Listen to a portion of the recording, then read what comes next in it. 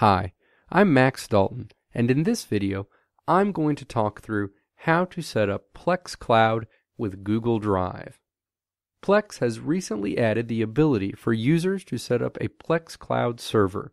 Users can connect either a Google Drive, Dropbox, or OneDrive account to their cloud server, select content from their chosen cloud provider to make available through the cloud server, and then stream that content directly from their cloud storage provider through Plex.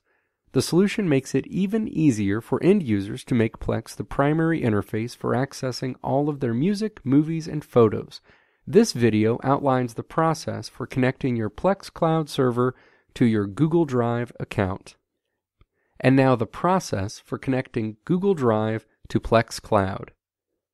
Step 1. Log in to the Plex Media Server application on the machine operating as your server.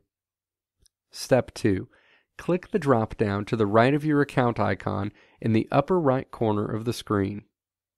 Step 3. Click Account. Your account page opens. Step 4. Click Plex Cloud in the list of options along the left side of the screen.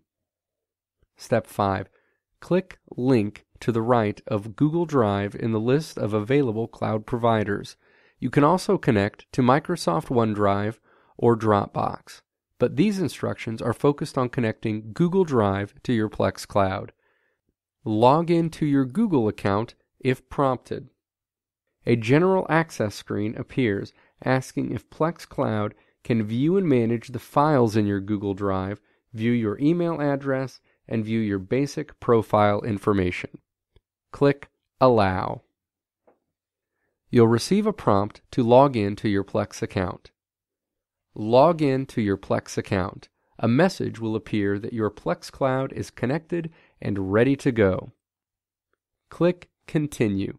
You'll be returned to your Plex Media Server home screen, where you'll notice Plex Cloud is the current server you're viewing information for in the upper left corner. At this point, you've successfully connected Google Drive to your Plex Cloud account. And now the process for adding Google Drive content to Plex Cloud. Step 1. Log in to Plex Media Server and change the server name in the upper left corner of the screen to be Plex Cloud. If you haven't previously selected any of your OneDrive content to be added to Plex Cloud, you'll see an orange Add Library button on the right side of the window, where your content would typically be displayed. Step 2. Click Add Content. The Add Library window appears. Step 3. Choose Select Type on the left side of the screen if it isn't selected by default. Step 4. Select the icon associated with the type of content you want to add. Your options are movies, TV shows, music, photos, or other videos.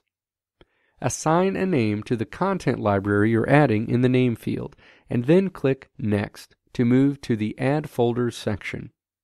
Click Browser for Media folder.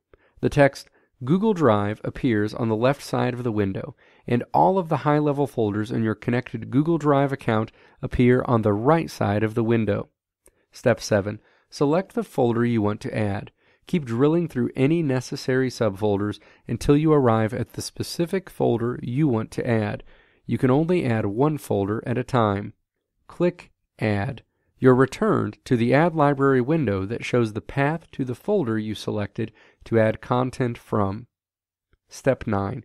Click the orange Add Library button. You'll be taken back to the Plex Media Server home screen, where a message appears on the right side of the screen that says libraries are currently being updated. Eventually, you'll see thumbnails associated with the content in the folder you elected to add start populating on the right side of the screen. Now, the steps to unlink Google Drive from Plex Cloud.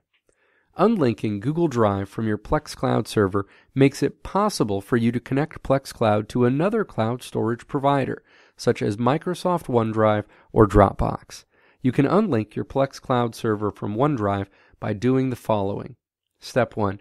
Navigate back to the Plex Cloud window on your account screen. Step 2. Click Unlink to the right of Google Drive a message appears telling you that you'll no longer be able to access Google Drive content in Plex Cloud. Step 3. Click the red Unlink button.